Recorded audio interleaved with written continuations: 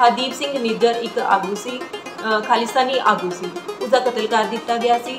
ਇਸ ਕਤਲ ਮਾਮਲੇ 'ਚ ਤਿੰਨ ਹੈ ਜਿਹੜੇ ਕਿ ਭਾਰਤੀ ਜਿਹੜੇ ਕਿ ਗ੍ਰਿਫਤਾਰ ਕੀਤੇ ਗਏ ਸਨ, ਜਿਹੜੇ ਕਿ ਦੋਸ਼ੀ ਪਾਏ ਗਏ ਸਨ। ਇਹਨਾਂ ਦੇ ਨਾਮ ਹਨ ਕਰਨਪ੍ਰੀਤ ਸਿੰਘ, ਕਮਲਪ੍ਰੀਤ ਸਿੰਘ ਅਤੇ ਕਰਨ ਬਰਾੜ। ਇਹਨਾਂ ਦੀ ਉਮਰ ਹੈ ਜਿਹੜੀ ਕਿ 20 ਸਾਲ ਸੀ।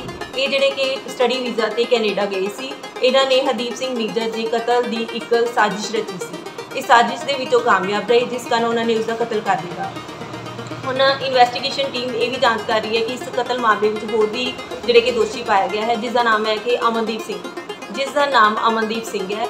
ਅਮਨਦੀਪ ਸਿੰਘ ਦੀ ਉਮਰ 22 ਸਾਲ ਦੱਸੀ ਗਈ ਹੈ। ਇਹ ਹਥਿਆਰ ਰੱਖਣ ਦੇ ਮਾਮਲੇ ਵਿੱਚ ਪੁਲਿਸ ਦੀ ਹਿਰਾਸਤ ਵਿੱਚ ਵੀ ਰਹਿ ਚੁੱਕਿਆ ਹੈ। ਉਸ ਦੇ ਨਿੱਜਰ ਦੀ ਹੱਤਿਆ 'ਚ ਸ਼ਾਮਲ ਹੋਣ ਦੇ ਦੋਸ਼ 'ਚ ਗ੍ਰਿਫਤਾਰ ਵੀ ਕੀਤਾ ਗਿਆ ਹੈ। ਕੈਨੇਡੀਅਨ ਪੁਲਿਸ ਨੇ ਇਹ ਜਾਣਕਾਰੀ ਦਿੱਤੀ ਹੈ। ਖਾਲਿਸਤਾਨੀ ਆਗੂ ਨਿੱਜਰ ਦੇ ਕਤਲ ਮਾਮਲੇ ਵਿੱਚ ਕੈਨੇਡਾ ਦੇ ਪ੍ਰਧਾਨ ਮੰਤਰੀ ਜਸਟਿਨ ਟਰੂਡੋ ਦੇ ਸਟੈਂਡ ਕਾਰਨ ਭਾਰਤ ਦੇ ਨਾਰਿਸ਼ 'ਤੇ ਕਾਫੀ ਤਣਾਅਪੂਰਨ ਹੋ ਗਏ ਹਨ। ਪ੍ਰਧਾਨ ਮੰਤਰੀ ਟਰੂਡੋ ਨੇ ਇਸ ਮਾਮਲੇ ਵਿੱਚ ਭਾਰਤ ਤੇ ਬਹੁਤ ਗੰਭੀਰ ਦੋਸ਼ ਲਗਾਏ ਹਨ। ਅਮਨਦੀਪ ਸਿੰਘ ਤੋਂ ਪਹਿਲਾਂ ਕੈਨੇਡੀਅਨ ਪੁਲਿਸ ਨੇ ਖਾਲਿਸਤਾਨੀ ਆਗੂ ਨਿੱਜਰ ਦੇ ਕਤਲ ਕੇਸ ਕਰਨ ਬਰਾੜ, ਕਮਲ ਬਰਾੜ ਅਤੇ ਕਰਨਪ੍ਰੀਤ ਸਿੰਘ ਨੂੰ ਵੀ ਗ੍ਰਿਫਤਾਰ ਕਰ ਦਿੱਤਾ ਗਿਆ ਸੀ। ਦੱਸਦੇ ਹੈ ਕਿ ਅਮਨਦੀਪ ਸਿੰਘ ਤੋਂ ਪਹਿਲਾਂ ਕੈਨੇਡੀਅਨ ਪੁਲਿਸ ਨੇ ਇਸ ਮਹੀਨੇ ਦੇ ਸ਼ੁਰੂ ਵਿੱਚ ਅਲਬਰਟਾ ਤੋਂ ਤਿੰਨ ਦੋਸ਼ੀਆਂ ਨੂੰ ਕਤਲ ਦੇ ਦੋਸ਼ ਵਿੱਚ ਗ੍ਰਿਫਤਾਰ ਕੀਤਾ ਸੀ। ਜਾਂਚ ਏਜੰਸੀ ਇਸ ਗੱਲ ਦੀ ਜਾਂਚ ਕਰ ਰਹੀ ਹੈ ਕਿ ਇਹਨਾਂ ਸਾਰਿਆਂ ਦਾ ਭਾਰਤ ਸਰਕਾਰ ਨਾਲ ਕਿਸੇ ਨਾ ਕਿਸੇ ਤਰ੍ਹਾਂ ਦਾ ਸੰਬੰਧ ਹੈ ਅਤੇ ਭਾਰਤ ਸਰਕਾਰ ਇਸ ਵਿੱਚ ਭਾਰਤ ਸਰਕਾਰ ਦੀ ਇਸ ਵਿੱਚ ਸ਼ਮੂਲੀਅਤ ਹੈ।